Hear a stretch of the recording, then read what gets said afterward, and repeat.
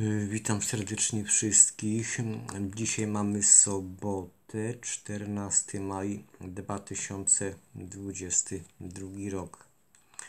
Niniejszym jako suweren odczytam zapytanie publiczne numer 17 skierowane do całej trzeciej RP, wszystkich jej organów konstytucyjnych, 460 posłów, 100 senatorów, pierwszy prezes Sądu Najwyższego, Mateusz Morawiecki, Andrzej Duda, Jarosław Kaczyński, Zbigniew Ziobro, Magdalena Kaliszewska oraz wszyscy inni współpracownicy, pracownicy, a szczególnie ci ściśle tajni całej trzeciej RP. Być może Kościół katolicki jako organizacja też może znać odpowiedź na to pytanie. Dlatego zapraszam Kościół katolicki do współuczestniczenia też. Dziękuję.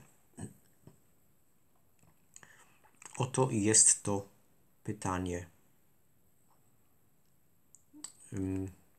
Dlaczego cała trzecia RP nie płaci w walucie rosyjskiej, czyli w rublach, za gaz i ropę i inne surowce mineralne, które do tej pory trzecia RP sprowadzała z Federacji Rosyjskiej. Powtarzam. Do tej pory trzecia RP płaciła zgodnie z umową Federacji Rosyjskiej za gaz i ropę. Ta umowa już się właśnie skończyła. Nowa nie została podpisana, ponieważ strona polska nie chciała podpisać tej umowy na następny okres rozliczeniowy.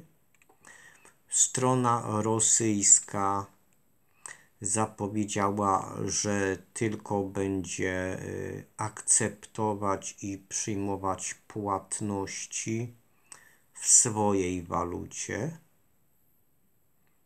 i część państw Unii Europejskiej zgodziło się na to i się dogadało z Federacją Rosyjską.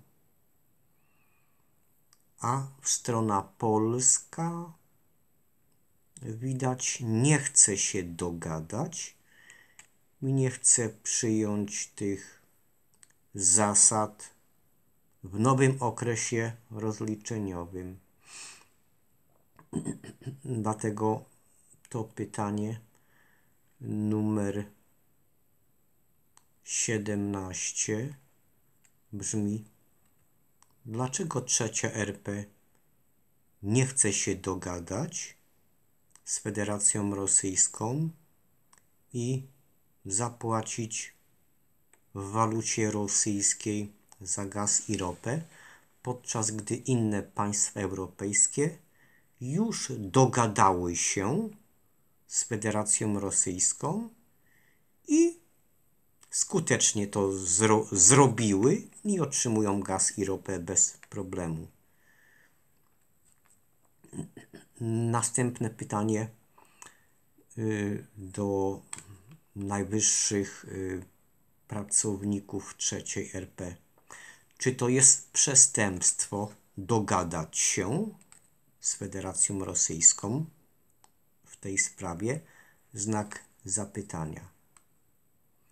Dlatego w terminie mm, do 30 dni od opublikowania tego filmu y, wzywam kierownictwo trzeciej RP do udzielenia mi, suwerenowi, szczegółowej odpowiedzi na piśmie na zadane pytanie. Dziękuję bardzo.